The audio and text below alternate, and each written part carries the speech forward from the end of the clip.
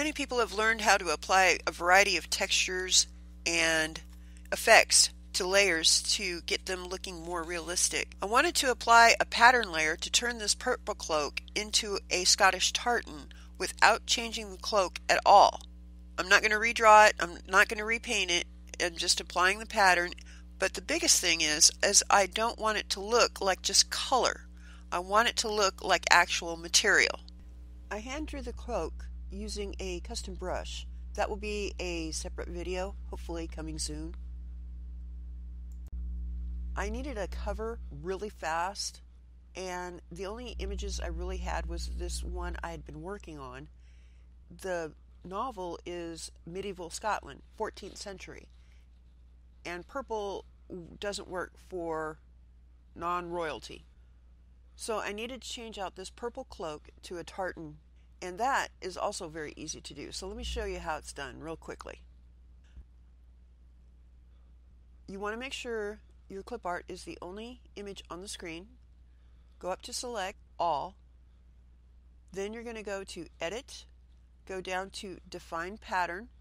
It's going to pop up this little dialog box. You name it, click OK, and you're done. That's all there's to it. Easy. Now let's go back to the photo manipulation. Okay, the first thing we're going to do here is turn off the embroidery layer. I work in groups. Adobe CC 2014 has made a lot of new changes to the groups, making them easier to use. So now that's basically all I work in is groups. I'm going to click off the eye on the group for the embroidery on the cloak. And what I want to do is change this purple cloak a bit more to red. But for you guys, so you can see it easily on your screens, I'm going to do a simple levels adjustment and bring up the brightness. And oh my god, that looks terrible. Well, at least you guys can see the cloak. I actually have this cloak on three different layers. Two are in front of the actual photo, and one is in the back. And that's to make sure I don't have any holes showing through as you can see here, lots of holes. So let me turn that layer back on. Now, the first thing I'm going to do is go up here to Hue, Saturation, and Lightness adjustments, and I'm going to fiddle with the color and turn it more towards red. There are two ways to get to the hue, saturation, and lightness. Any adjustments are in the adjustments panel up here at the top. And the other way, let me undo and I'll show you that one. Click on the black and white circle and go to hue, saturation, and lightness and it will put on a layer for you. Now the next thing we need to do is make this a clipping mask so it doesn't change our entire image. We only want it to change the color of the cloak, not everything else. You can hover your cursor over the line of the layer and when it changes to this little arrow and a box, hit Alt and click on the line and it will change that layer into a clipping mask. Or you can go to the actual flyout menu and down there at the bottom is the same icon that you saw your mouse turn into. You can click that and it will turn it into a clipping mask. But this way you don't change the entire image. You just want to change the cloak. Now, to actually change the color. I'm going to have to kind of hop around here because I've got this layers adjustment on for you guys so it brightened the image so you guys can see it. You want to hit colorize and change your sliders until you get the color you want. Notice the bottom slider is reflecting the actual color that the image is turning into. Try a small section if you have multiple layers. That way you won't be chasing your own tail trying to figure out exactly what you want. Just do one, get it right, and then duplicate the layer.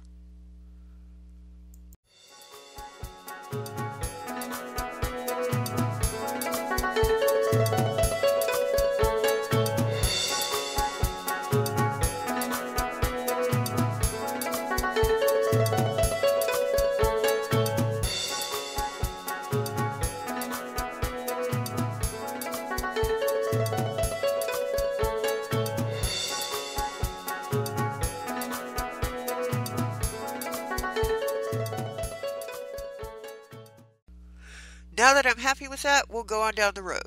Generally, it's going to be faster and easier for you just to duplicate the layer, or if they're grouped, you can put the clipping mask on the group itself and work it that way. And just for fun, here's what happens when you don't create the clipping mask. But don't worry, no permanent damage done. Just make it into a clipping mask and you're good to go.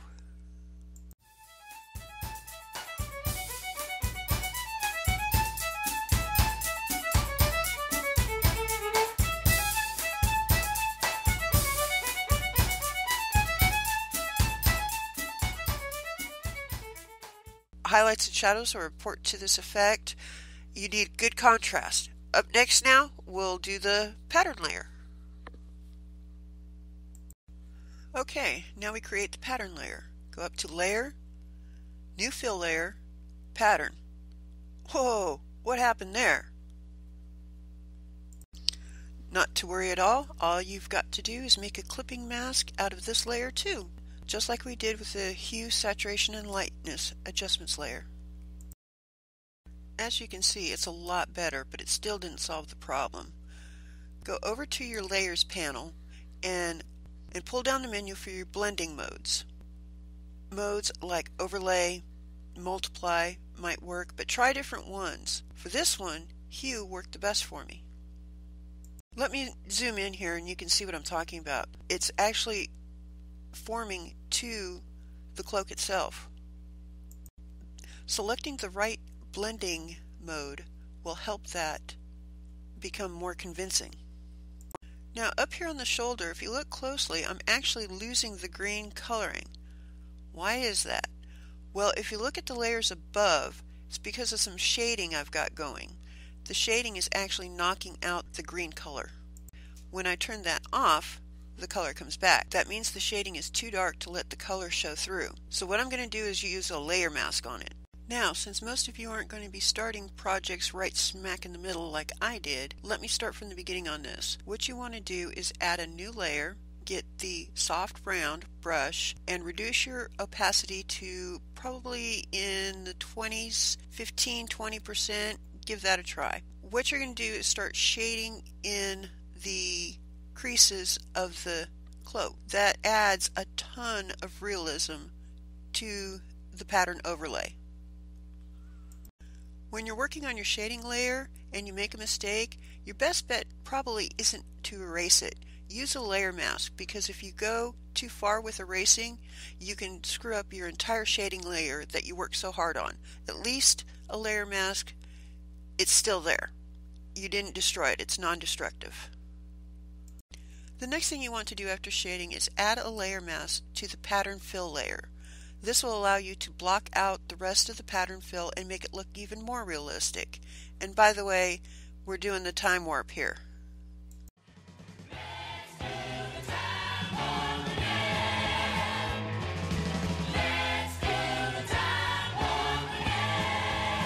It's just a jump to the left.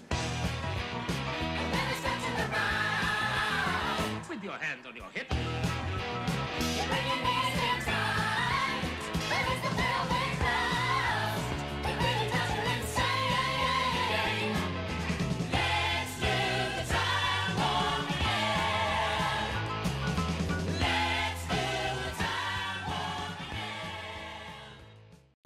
Hopefully on the next video we can go over drawing the cloak with the custom brushes, and I can demonstrate applying the embroidery effect with an alpha.